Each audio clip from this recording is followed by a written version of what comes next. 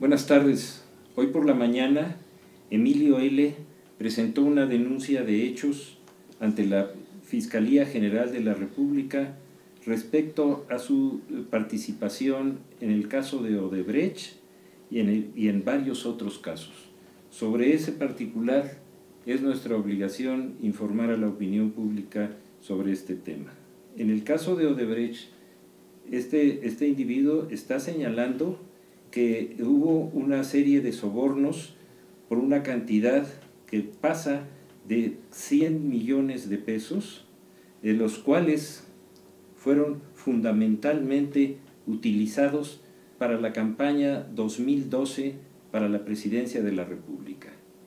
Y el que después fue presidente y su secretario de, de, de Hacienda son las personas que este individuo que está presentando la, la denuncia señala que fueron los que le ordenaron que ese dinero fuera entregado a varios asesores electorales extranjeros que colaboraron y trabajaron para la campaña de estas dos personas. Eso es por lo que hace a la campaña y a esa cantidad de dinero que vino de Odebrecht para eh, Emilio y de Emilio para esos asesores, para esa campaña electoral de acuerdo con, lo que él está señalando. Después viene otro tema que es la compra de votos para la reforma eh, para las reformas estructurales en 2013 y 2014. En ese caso específico se habla de también 120 millones de pesos que fueron eh, ordenados por las mismas personas para que fueran a un diputado y cinco senadores que él señala los nombres y que por supuesto quedarán en reserva estos nombres hasta que nosotros judicialicemos en el caso de que encontremos las pruebas suficientes.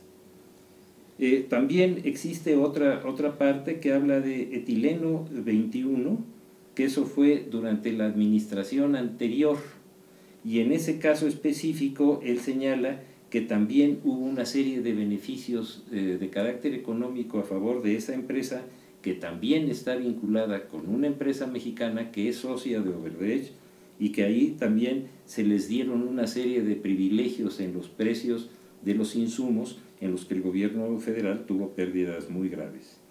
Eh, en todos estos casos, los eh, sistemas que él señala que se usaron fue que estas dos personas a las que ya he hecho referencia le dieron instrucciones para que entregara 84 millones de pesos a varios legisladores que son semejantes los nombres de los anteriores, a un secretario de finanzas de un partido político y todo esto eh, después también le dieron una cantidad superior a 200 millones de pesos para dirigirlos en, eh, la reforma, eh, a la reforma electoral, a través de un enlace que él da el nombre.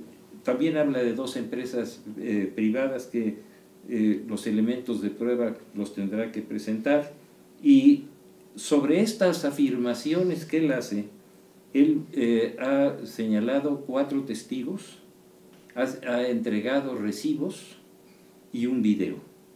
A partir de este momento, la Fiscalía General de la República ha abierto la carpeta de investigación correspondiente y vamos a empezar a realizar todas las diligencias. En primer lugar, las ratificaciones, después la presencia de los testigos, el análisis pericial de cada uno de los recibos y del video, y en el caso de que sea procedente, a las personas que él le imputa, los llamaremos a declarar. Eso es por lo pronto la información que tenemos, es del día de hoy en la mañana, y si existe algún dato posterior, lo daremos a conocer de inmediato. Muchas gracias y buenas tardes. Fiscalía General de la República.